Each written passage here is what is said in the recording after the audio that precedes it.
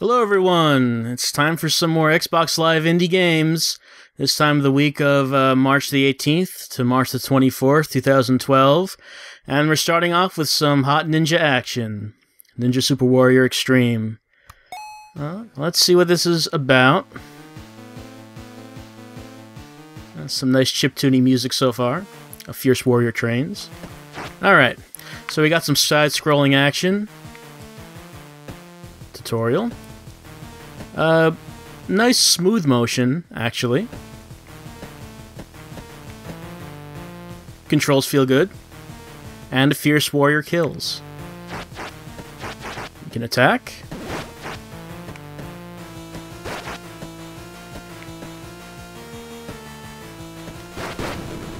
Alright, no problem.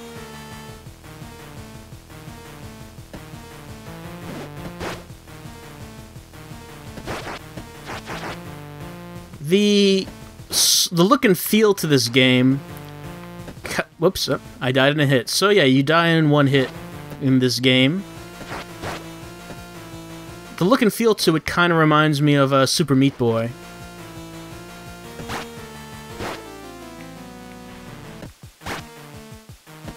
And that is a good thing. The controls feel very good. They feel very smooth, very, uh, very precise.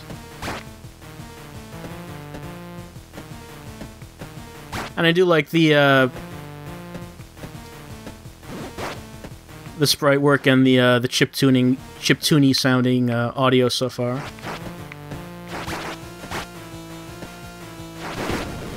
Different than Super Meat Boy, of course, in that this game you attack. You have a sword attack, and that you have to defeat a boss to beat each level.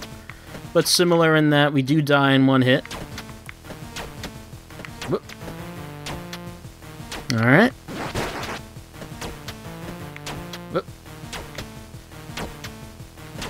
Those knives, I'll assume, can kill me in one hit, like the enemies can, because they don't have any kind of life bar, so... Oh. Yeah, the enemies can attack too. They have a sword as well. And that boss seems to take two hits to kill. So we traded hits, and since it only took one to kill me,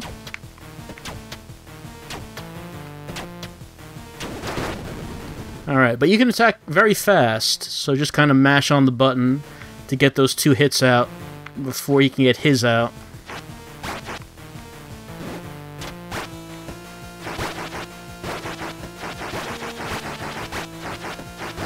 No problem just swinging the sword around really fast, too. Don't need to stop, really. Oh.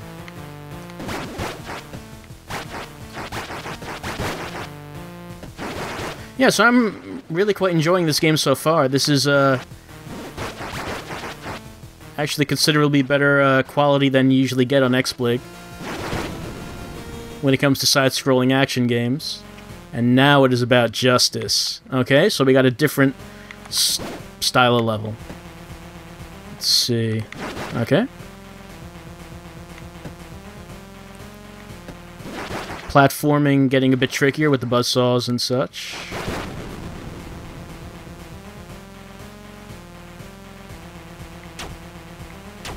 Hmm. Oh, uh-oh. I think I have to keep moving here. Yeah, I have to keep moving. Out of the way. One. Uh, uh, uh, okay, yes.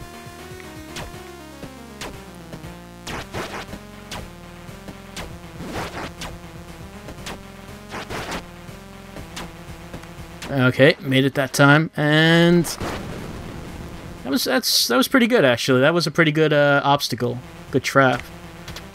Hmm? I don't think I can hit that block. Hmm. And uh, a lot like Super Meat Boy, you do restart very fast, so that's good. One of the uh, elements of Super Meat Boy that, that added to the difficulty, I mean, added to the fun of that game's difficulty, was that it did not really penalize you for dying. You restart you restarted really fast, and uh, you didn't really have to. Uh, oops. Uh oh. You didn't really have to work your way back to the place where you died, since most of the le Okay, most of the levels were usually one screen or not. Actually, not. There were plenty of actually plenty of levels that were more than one screen. Thinking about it, but still, they were not large in general.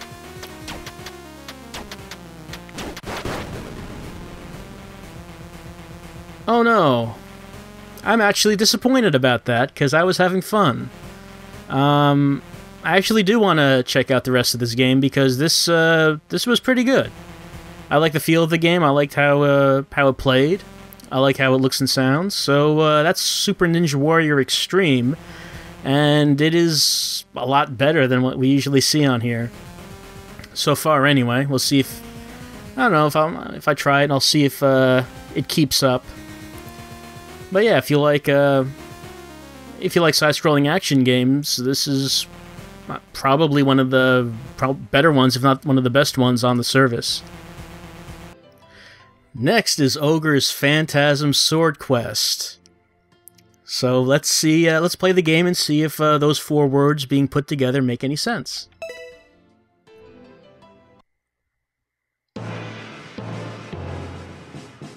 Alright, here we are on the world map, and we can go to a shop, we can go to stage one. Let's go to stage one. Alright. There's an ogre. He has a football helmet on his head. So basically the way this goes is, as far as I've played so far, we end up, uh, start out in sort of a little area, sort of a little arena-like area, and we have these little goblins that we can kill. Uh, with our character, uh, looks like it's Momo, who carries this enormous sword, because why wouldn't she be carrying that? And there's that big ogre right there, and they, oh yeah, we can jump really high. So we can do that. We have to kill that ogre. And, uh, that ogre will try to kill us. We can, I think, kind of ignore the goblins because, well, if we get too close to, to the ogre... Let's see if we can get him to do this. Yeah, there. Oh, he hit... Okay, he hit us. But he hit those goblins, which is what I wanted him to do. The game looks a lot better than a lot of XBLIG games, but they probably could have spent a bit more time on the controls. Alright, so what we have to do... He's got that helmet on his head. That's protecting him, so we're going to want to get that off. Let's see how we go about doing that. Whoop! Now, let me get to some higher ground. Alright. Uh, uh. Alright. Alright, he's coming closer to us. Let's see if now we're high enough to reach that helmet. No, I missed. Let's get back up there.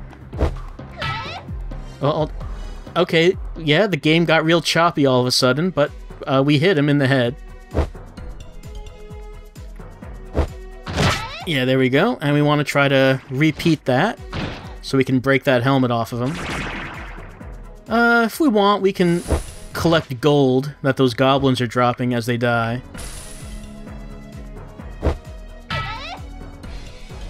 Still haven't broken it. This this game seems like kind of an oddity to me, because it seems like they put a lot of work into the presentation. Oh, hold on, the, the helmet's broken, and he... a big green glowy thing, thing down there, and, uh, did I die? Yes. Yes, I died.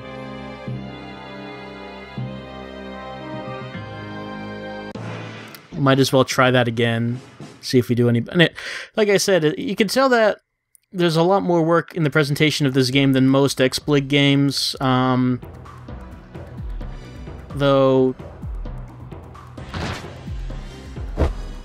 The controls are not the best.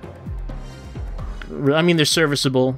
They, they work, kind of.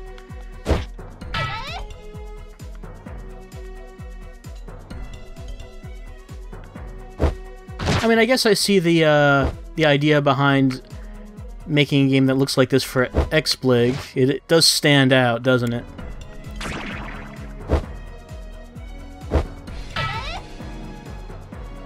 since you don't really... You don't... Why is it... gets real, real choppy. You don't really expect XBLIG games to look any good, so when one looks half decent... I'll leave it up to you to decide which half this is.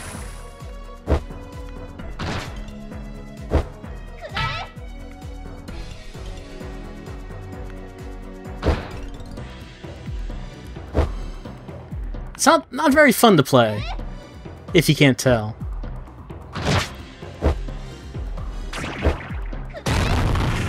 Oh, let's see if I can get that green thing now. Did I die again? Alright.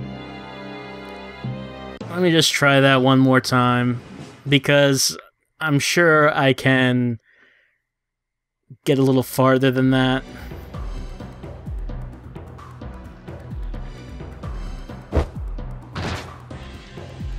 Alright, getting on higher ground again.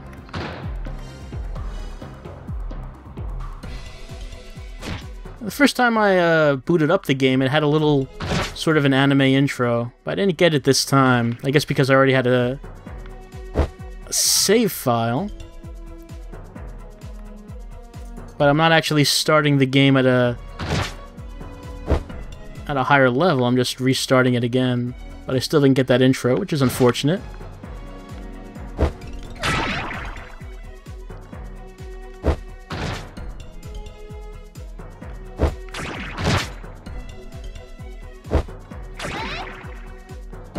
By the way, uh, as you watch this video, if you may notice any choppiness or the video freezing in some parts, that's not the video.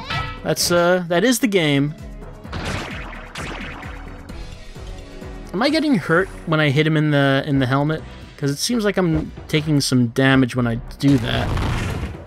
Alright. Now let's see if I can actually survive after breaking the helmet. You drop that green thing. I want that green thing. Let's see what that is. Um, that was a lot of money, I guess.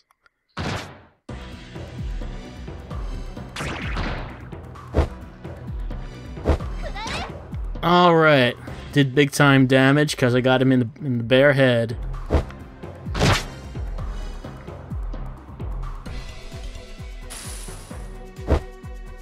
I don't know if the the following levels will be much different than this. What? Oh, that Okay, that kind of stopped entirely for an instant. I don't, or I don't know if the rest of the game is just this. Hold on, did I kill him? Yes, I killed El Gigante. Stage clear, even though the goblins are still alive. It travels an ogre extermination on five swords and the nine battlefields. You know, in the previous game we looked at, Super Ninja Warrior Extreme, that would have been parody text. I don't think it is here. Okay, so that's all there was for the demo. Uh, yeah, that's Ogre's Phantasm Sword Quest. I can't recommend it. It looks better than your usual XBLIG game, but, uh, doesn't seem to play so well, and I don't know if the gameplay actually changes from what we saw here but it's it's an interesting oddity for this service because it's just because someone put so much effort apparently into the presentation. That's Ogre's Phantasm Sword Quest. Those four words put together still don't really make much sense. All right, are you ready for some red hot poker? Because I am. Yep, time to play some poker. This is how we play poker. Okay, the dealer's dealing me the cards. I got a pair, and those cards disappeared. That's how poker works.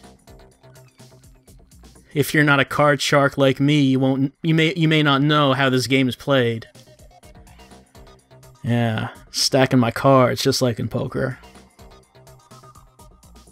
Pair. Mm-hmm. You yeah, you tell me about it, dealer. I got a pair. And I'm getting a couple dollars every time I get a pair. Yeah, that's how poker works. Pair, new level. Right. The dealer tells me I'm going into a new level after getting ten dollars. You know, I've seen I've seen the World Championships of Poker on TV. I know how this works.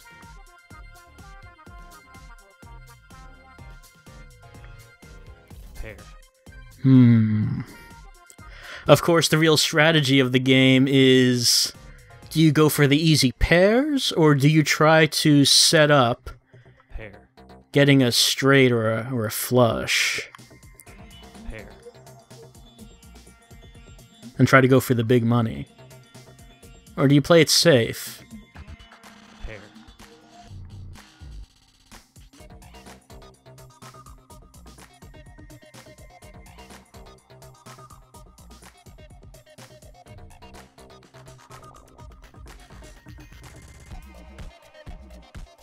If you've never played this type of poker in the casino, they basically uh, angle the table. They slant it so as they deal the cards, they slide down the table. And you have to make sure that they slide down into the proper slots to get the hand that you want. That's that's what makes it red hot. See. I got the straight. And that brings me into the new level.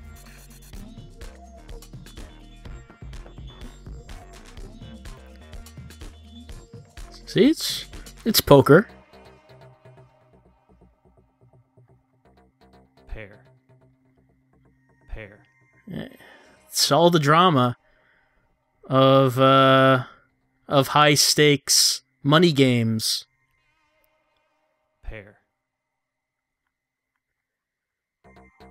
Where you have you know you have some experienced card sharks staring at each other across the table trying to bluff each other. Whose cards will slide down the table first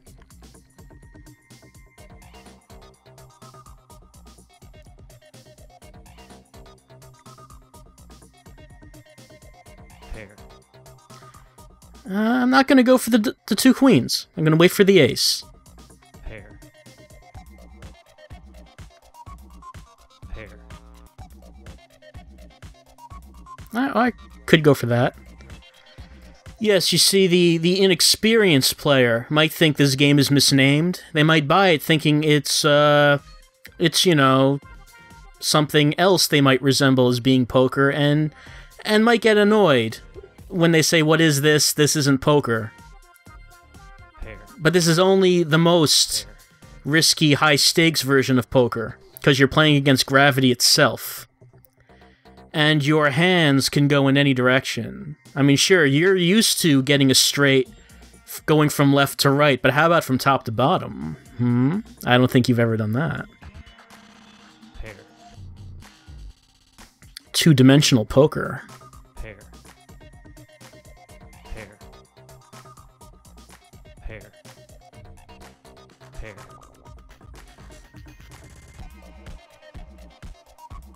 the music and the uh, the excited tone of the dealer only enhances the the backroom casino atmosphere that you get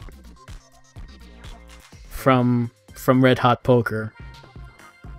If you don't believe me, just step into any casino in Vegas and just say you want to play Red Hot Poker. They'll know what you're talking about. But don't go in there unless you're willing to play some big money games. Pair. Pair. Pair.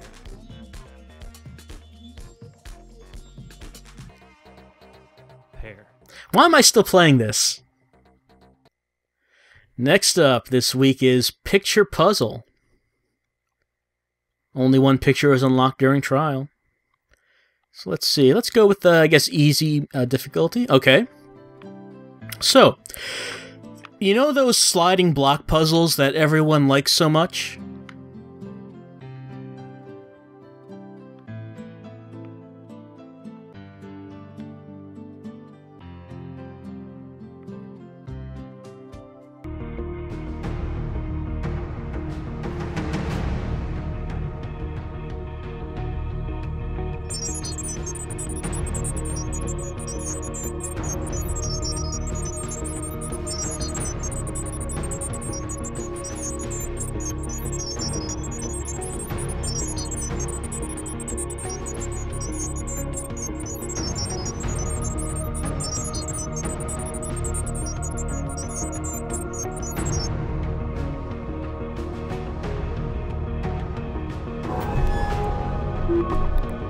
Next is Spoids.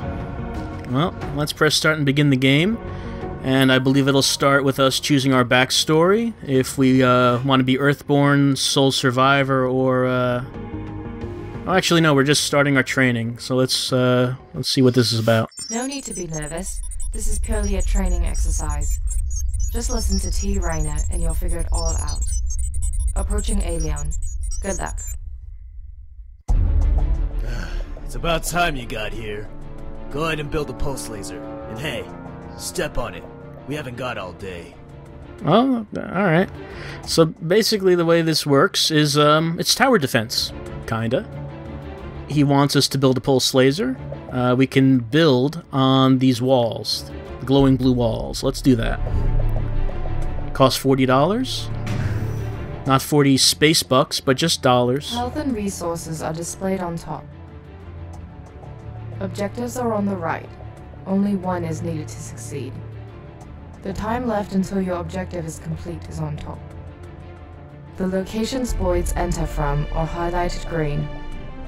The locations we are protecting are highlighted red. Incoming spoids are shown on the scanner above. Get ready. Alright, so the spoids These are... are squawks, the weakest spoids we know so far. Pulse lasers will take these guys down, no problem. Well, we do have to build a few. It's not like uh, that one will just take him out by itself. And as we... Ah, spinners. Definitely stronger than squawks. Try a burst launcher on these guys. It's a bit more expensive, but watch what these babies do. Alright. So this is just a tutorial, getting us used to the weapons. Rockers are a little stronger than spinners, so make sure to keep building up your defenses. The spoids we destroy give us more resources to build additional towers, so bag them and tag them. Ba- how would I tag them? They don't seem to have toes? Or even names. Let's see how you handle the bruisers. They're the toughest boys for their size. You'll need to rough these guys up pretty good. Trust me. Alright, yeah, I, I believe you, you know, I don't... Don't need to convince me. Approaching. Zoomers approaching. Zoomers will blow by your defenses if you aren't careful. Build an EMP generator to slow these guys to a crawl.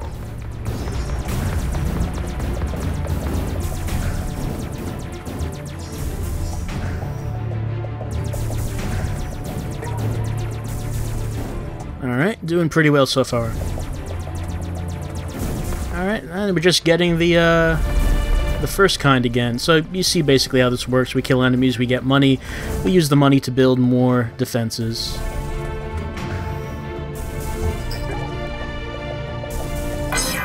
Crap! The security systems here have gone offline. Damn it! They seem to be heading to the mainframe station. Hold them back while I get the systems back online. Top of the line voice acting too, as you can tell. I like how the music is so dramatic for uh, for this. What we're seeing on the screen.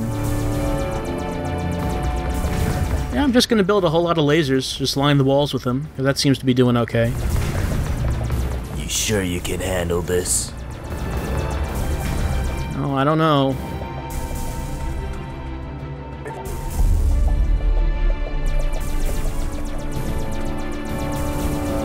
I mean, the game seems uh, very well presented, you know. It looks good. Uh, controls feel fine. Zoomers approaching. Zoomers approaching. hmm Oh yeah, those fast ones. Um, let's see. What about right here with the gener? Oh, I can't actually afford the generator. By the way, the scanner up top lets you see what spoids are approaching. Systems are almost back online. Just need a little more time. Watch out! Enforcer coming your way. These guys take a load of firepower to take down. Take them out. All right, so this is uh, what do you call it? An enforcer? It's it's big. It's big, so it'll take a lot of shots.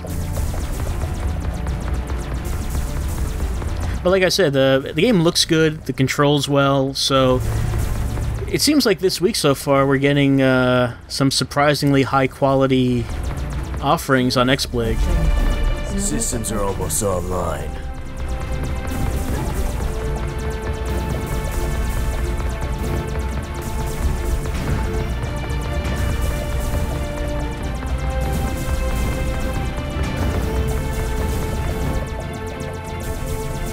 Uh oh. Uh, let's see.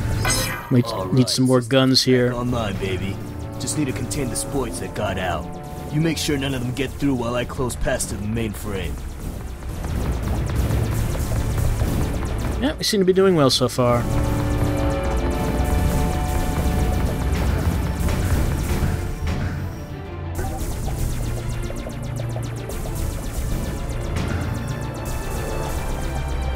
I mean, usually what we get on XBlig is barely recognizable to an actual game. defenses. Uh, I'm not I'm not big into tower defense, but I mean, this seems all right.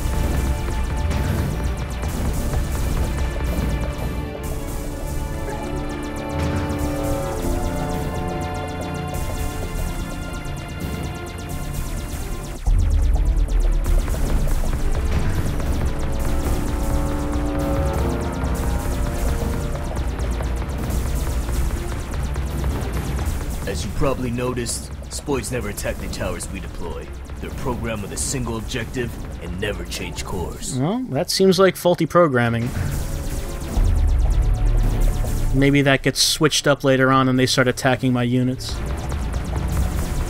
Seems like kind of an odd name, though, right? Spoids, considering how serious this game seems to be portraying itself as. It's kind of a goofy name. Zoom is approaching. Zoom is approaching.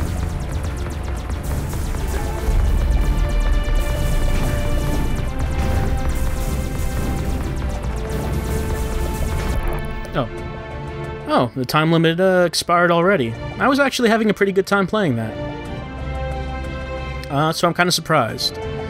Um, that seemed alright. You know, like I said, it seemed like an actual game. It controlled well, looked good. Voice acting is, you know, not the best, but better than you might expect from something on XBlig. Um, I'm actually pretty surprised at what we've been getting so far this week. This might be overall the best week we've seen so far. Though I shouldn't say that right now. Uh, let's wait till the end before we determine how good this week was. But uh, that's Spoids. That was that was pretty good tower defense.